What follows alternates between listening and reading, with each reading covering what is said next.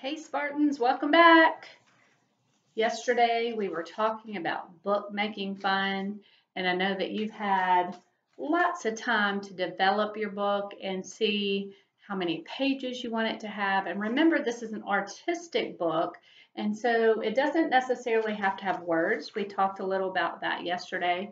A story, by the way, can have various symbols and pictures to create um, the storyline that you want. And I'm going to give you an example of that in a minute. So let's take a little refresher, if you will, on your ways of making a book. And we talked about binding the book. And remember, the bound part is just the um, part that they typically sew together. So you have options depending on what you had at home. Some of you took several pieces of paper and folded them in half and tucked them together. And when you did that, you could um, use a hole puncher or have um, an adult push some holes through the paper and you can tie those with yarn or string. I've got some twine here um, that you could do that with. Um, certainly, there are ways that you could sew that together, but being that there's many pieces of paper, or if, especially if your paper is thicker, you don't want to have um, that danger of poking that needle into your finger. So certainly there are ways to do that, but maybe this isn't the time for that right now. Um, other ways to bind your book, um, we looked at cutting pieces of paper into long strips and doing that accordion fold. Remember that's back and forth, back and forth like a fan. And if it's taller, like this book is taller, um, if it's taller, you can use that side of the paper to create that length. Or you can even glue things to these accordion um, folds to create a different type of book. So a smaller accordion. And then remember, we were putting cardboard on the ends of ours. So I had found several boxes and the only um, thing that you needed to remember was to make sure that your paper, like if you wanted to use this paper this direction, make sure that it actually will glue inside, that it will fit there. Um, I would focus on cutting smaller pieces, at least two the same size for the ends. You can decorate this, or the best way is to take another piece of paper trace about a quarter inch to a half inch all the way around. Cut that out extra and cut your corners and wrap it like you would a present. Um, and then of course you can use regular glue or you could use glue stick. Um, I've done both. Uh, I prefer regular glue, but certainly you can use the other. So um, this was an example of that. So you're looking, let me see if I can get a close up of where you can see this paper, this kind of paper was folded around. And then of course, this accordion fold paper is glued down and you can use these as part of your story. Personally, I love these books just standing up, just standing upright. It can just sit up like that and you can walk all the way around and have a story on both sides. You certainly could use your book um, to create a sketchbook or um, interesting ideas if you're if you like to journal and that kind of thing. But I thought it might be fun to do a story. So let's think about the parts of a story. You need a beginning, a middle, and an end. And depending on how elaborate or how detailed you want your story, um, it could get complicated. But this is an example of a book that I did. And let's just go through here so you can see how the story progresses without words. Thoughts maybe, but so we see there's a turtle. Perhaps the story's going to be about a turtle. Lots of shapes and lines and designs because it's art and you get to make it look fun and good. So we see the turtle. Looks like he's off on his way. And my story goes with the top, the middle, and the bottom. So we're just going to look at the top.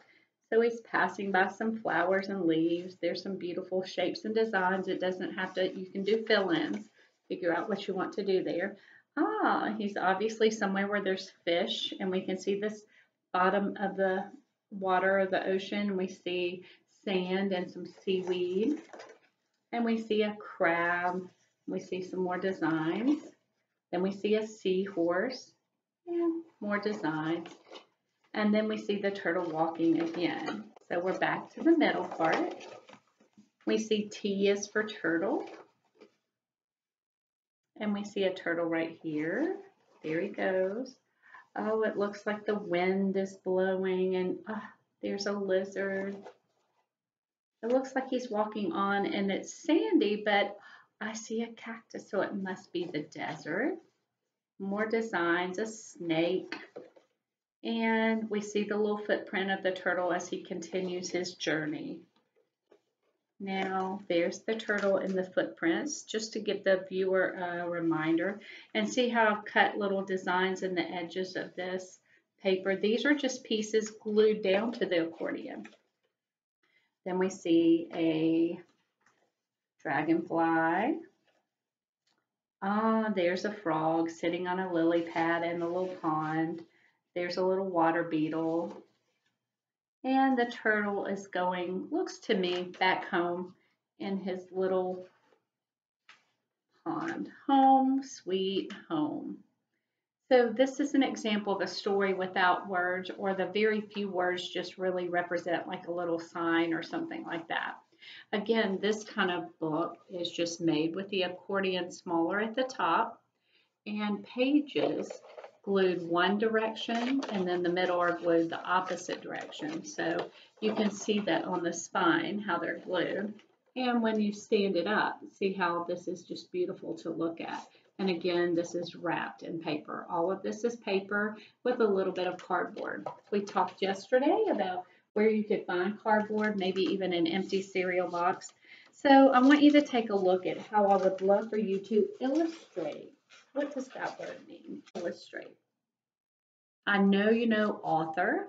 You're going to be the author and illustrator of this book. So that means yes, you are going to write the book and you are going to draw all the pictures in the book.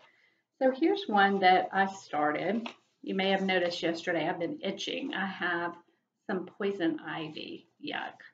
And so I wrote a little story because for Mother's Day, I went to see my mom and she was working out in her yard in her garden. I thought, yay, me, strong. I'm going to get out. There's Miss Shirley. I'm getting out in the yard and tackling cutting off big branches and then carrying them over so that we can burn them. She lives out in the country.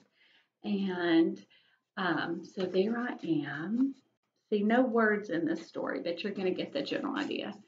And there I'm seeing, but I didn't see, I was looking at these beautiful, beautiful honeysuckle and they smelled so good. And yeah, they taste good too if you've ever tasted one and I'm looking at the fence and help clearing branches and weeds and things off. And I didn't see the danger lurking, but it found me. Look at that evil poison ivy. I'm carrying all the branches, going to take them to the burn pit. but thank goodness for no more poison ivy. I can sit on my patio now and drink a lemonade, and there's my medicine to make my poison ivy not so bad. Um, yes, I'll be thrilled when it goes away. But this is my story without words. Now, you're welcome to put words in your story, but it's kind of fun to see what you would do with the images or the illustrating part. When you're doing a story, make sure you do have your beginning, middle, and end. It should make sense. It needs to, to have um, something go with it. You could also do some poetry. I know many of you have been working on reports and things about different animals or habitats, so you could include that in your book. Um, you could do something with your name or someone in your family, like your mom or your dad. And you take those and remember some of you you may remember at the beginning of the year we learned about um, the book of kells. And this is uh, the illuminated manuscript. So you take letters in your name and you just write them out and just kind of decorate using lines and designs and shapes and then maybe even symbols about yourself and then you're going to color or paint or however you want to do that you're going to decorate and, and give it a little pizzazz. Um, so I'm really interested in seeing some of your illustrations, some of your stories. Please share them with us. Um, you could even share them with your regular classroom teacher. I know that they've been doing some projects as well. So I'm looking forward to um, all of your creations and seeing these stories and have fun reading, have fun sharing. Um, read them to your little sister, little brother, or cousins, or perhaps help your um, siblings, and you all could create your own books. Lots of fun. And until next time, see you later.